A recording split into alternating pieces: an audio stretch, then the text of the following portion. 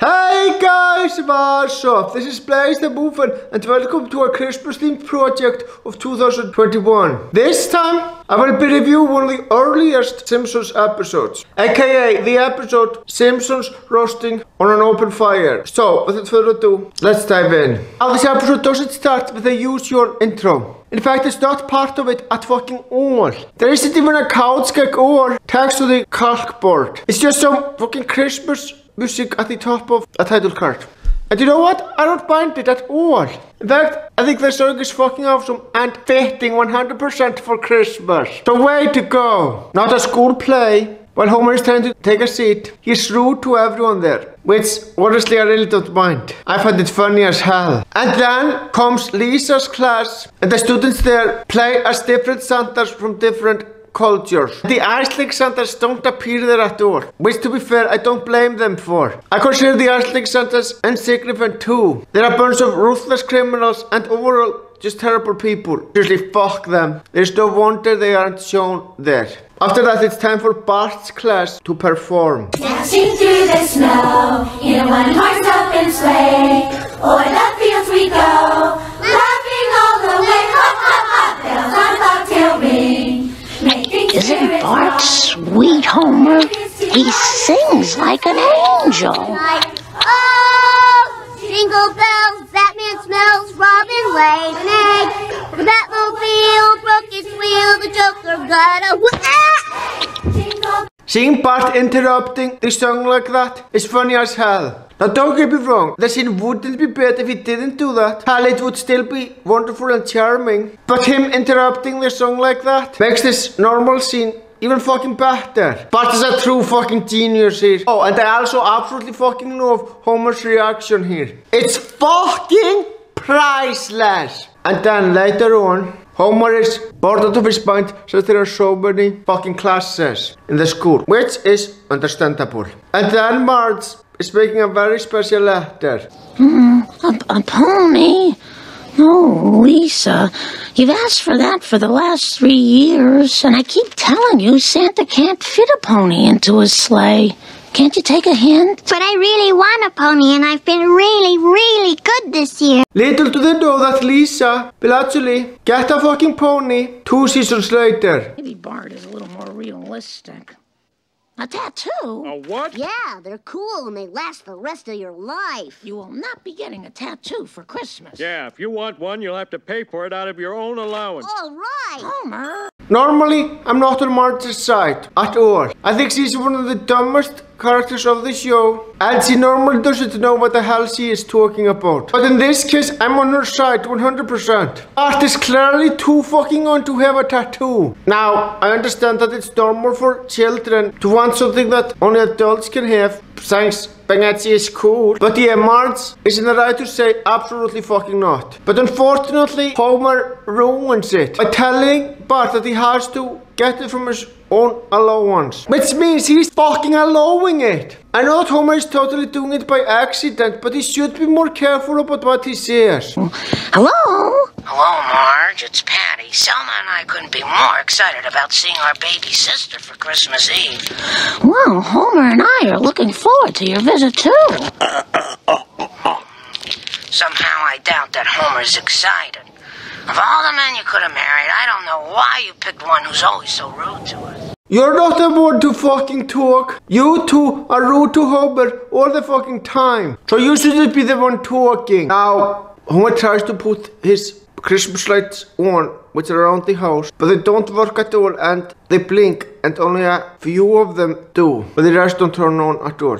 I feel sorry for Homer, I really do. He worked so fucking hard on getting the Christmas lights ready and they don't work. The poor guy. Now Flanders puts his lights on and they work perfectly well. But Homer is bitter about it and is angry at Flanders. Now I understand that he is jealous, but there is no reason to be a dick towards Flanders for this. Why couldn't Homer just be fucking happy for him? That's what he should have done. I really don't understand why he has to be such a dick towards him.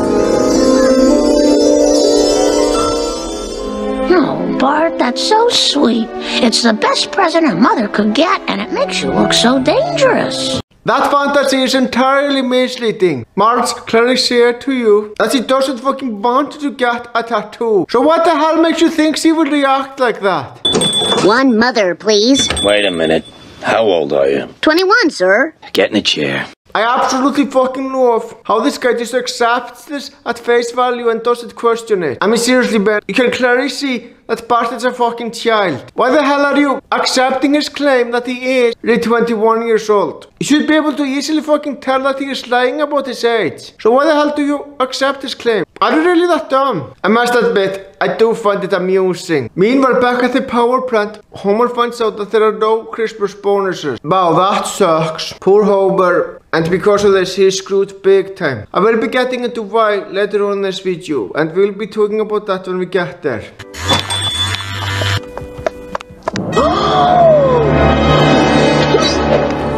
But Mom, I thought you'd like it. No offense, Bart, but what the hell gave you that idea? She made it perfectly clear that she doesn't want you to have that fucking tattoo. Weren't you listening? Now Martha has to pay for services to get the tattoo. Fucking off, Bart. And unfortunately, it costs a shit ton of money. Unfortunately, Bart reveals the bad news that they're out of money in the jar. And at the top of that, Homer didn't get a Christmas bonus from work. Which means that the Simpsons family really is fucking poor during this Christmas season. Man, that really fucking sucks. And of course, Homer doesn't tell Marge that since he's afraid, which is understandable. And then after shopping, after Homer accidentally bumps into Flanders, those two have to pick up their items again. And of course, Flanders tries to be as nice as possible, but of course, as always, Homer has to be petty towards him. And I'm gonna tell you this right now. I never found it funny or amusing that Homer is a dick towards Ned Flanders for no reason. I always found it painful to watch. In fact, it is in my opinion the worst aspect of the show. I mean seriously, the damn guy is trying his hardest to be a good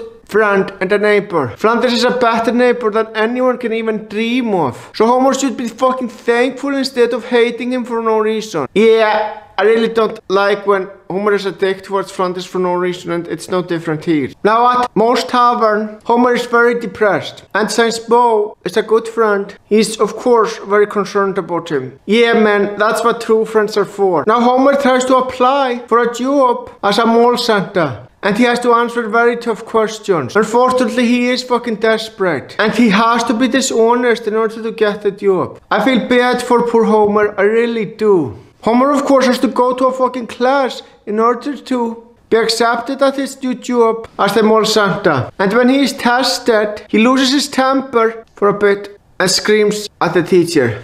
I really fucking hope he will be able to succeed in that test because he desperately needs the fucking money. Anyway, after Homer gets back home, Bart and Lisa are very fucking happy to see him since Patty and Selma makes them feel uncomfortable. Honestly, I don't think they are bad people, they just have problems. And then Homer chops down a tree with a chainsaw in a restricted area where he isn't allowed to trespass. Unfortunately, he's in a shit ton of trouble and there is even a guy who's aiming to fucking shoot him. Damn. Now Homer comes back home with a Christmas tree and Patty and Selma of course have to trash talk him. Come on, give him a fucking slack already. He had to bust his ears off getting that tree. Give the guy a fucking break for once. Now, when Bart sits on Homer's lap, he pulls his fake beard off and realizes that it's actually Homer dressed as Santa. Now, Homer has a private conversation with Bart and explains to him that he is fucking desperate and needs money. That's why he is a mall Santa now. Honestly, it is understandable and Bart understands him too. You know, it's great how understanding Bart is here. It shows that he is a good son for sure. Marge doesn't know about this. It makes sense that he doesn't tell her, so she doesn't wanna worry her. But yeah, it's so nice of Bart to also keep that fucking secret and not tell anyone else. Again, he's a great fucking son. Homer couldn't have asked for a better one. Hey, little one, Santa's back. Ho, ho, no! Damn it! Ah! This is very embarrassing and it's inappropriate to swear in front of children like that. Especially since you're supposed to be fucking Santa who's supposed to be a good jolly guy. To be fair though, I completely understand why Homer is acting that way. He's very fucking frustrated and is working his ears off so he can get good amount of money. I know it's not easy for him to get the money he should earn. That poor guy, I said it before and I'll say it again. I feel sorry for him, I really do. Though, I must admit, despite what I said, I still find the scene funny as hell. Especially when Homer's a stalemate. Unfortunately, Homer only gets $13. Wow, all his hard work for nothing. There is barely anything he can even do with that fucking money. And that's just sad. Oh, come on, Dad. This can be the miracle that saves the Simpsons Christmas.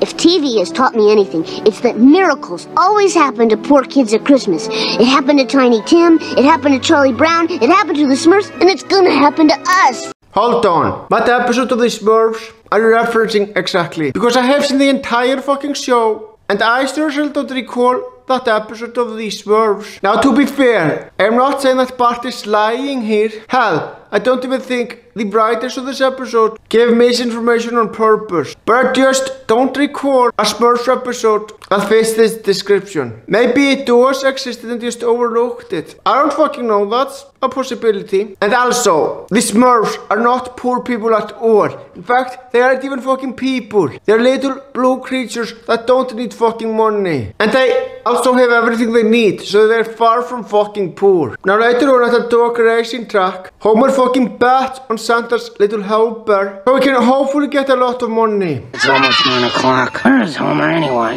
It's so typical of the big doofus to spoil it all. What, Aunt Patty? No, nothing, dear. I'm just trashing your father. Well, I wish you wouldn't, because aside from the fact that he has the same frailties as all human beings, he's the only father I have. Therefore, he is my model of manhood, and my estimation of him will govern the prospects of my adult relationships. So I hope you bear in mind that any knock at him is a knock at me, and I am far too young to defend myself against such onslaughts. Mm-hmm. Go watch your cartoon show, dear. Wow, I love how she doesn't care in the slightest what Lisa is trying to tell her. You know, Lisa is right. It really is unwarranted how much those two trash talk Homer. And they should care about not hurting the feelings of his children. It's downright nasty how much those fucking trash talk Homer. And it makes it even worse that they don't care in the fucking slightest if it makes his children feel uncomfortable. Now, I don't hate Patty and Selma's characters, not by fucking long shot. But how they treat Homer is beyond nasty, let's just say that. Anyway, back to the plot with Homer and Bart. As it turns out, Homer did a big fucking mistake by making that bet. Since Santa's little helper is a lousy loser and doesn't fact come in last fucking place. Wow, Homer really is screwed, isn't he? I said it before, but it's worth repeating. I feel sorry for Homer, I really do. Now Homer decides that he doesn't want to leave until Santa's little helper finishes.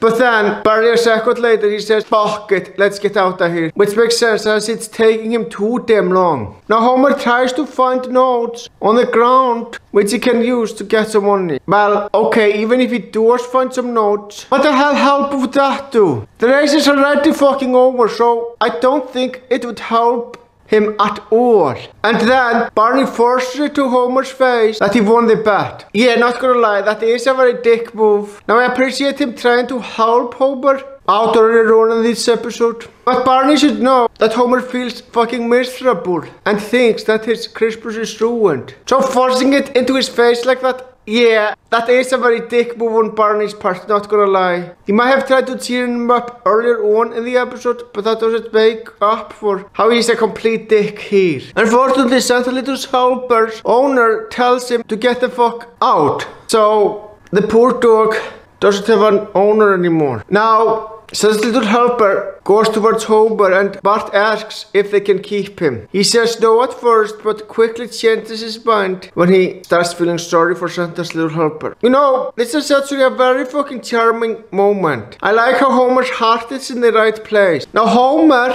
comes back home with the bad news. Or at the very least, he's about to tell the family the bad news and he's about to reveal the truth of what really happened. But Bart fucking interrupts him and tells the rest of the family that they now have a dog and he brings the dog as well. And Bart is totally fine with that and the rest of the family is happy about that too and think it's nice of Homer to bring him to the home so he has a good home now. Yeah, I'm not gonna lie. This isn't exactly the best Christmas ever, especially as they don't have many good presents. But hey, at the very least, this is better than nothing. It's still a pretty decent way to celebrate Christmas. And the episode ends with a fucking wonderful looking Christmas photo. Now it's time for my overall thoughts. This is not my favorite Christmas related Simpsons episode. That would be Gift of the Monkey. But it's definitely on my top 5 for sure. It sucks that Homer has to deal with so many bad situations, but he tries to make best of it. And this episode really shows that he cares about his family and wants his family to have great Christmas, which is charming. And the ending of the episode when they take a new dog home is fucking wonderful.